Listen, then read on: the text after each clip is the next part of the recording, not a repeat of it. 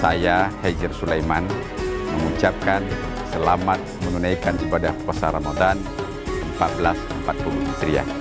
Assalamualaikum warahmatullahi wabarakatuh.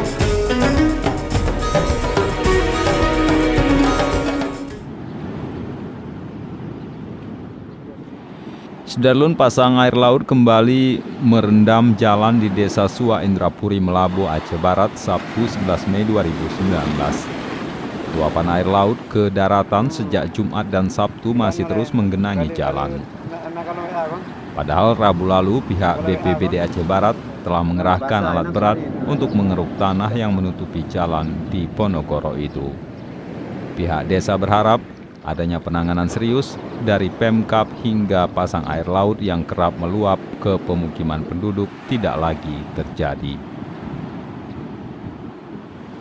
Jadi memang ini sedikit kendala bagi kami karena ini wilayah masuk wilayah pasir ya, dari maksudnya asal ombak dari wilayah Kampung Pasir.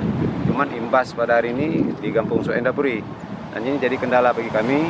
Tapi walaupun demikian kami sudah berbuat, sudah menyurati surat kepada dinas-dinas terkait dalam hal penanganan bencana.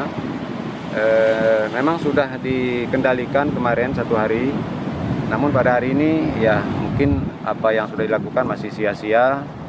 Jadi harapan kami e, dari dinas kebencanaan untuk segera ditanah, ditai, apa ditangani lah, karena musim ini terus berlanjut selama satu bulan perkiraannya kan. Jadi kalau ini terus dibiarkan, saya khawatir hari ini sudah mulai tergenang rumah warga dan mungkin akan lebih banyak lagi rumah warga yang akan tergenang oleh air laut. Dari Melabo, Rizwan, Serambion TV.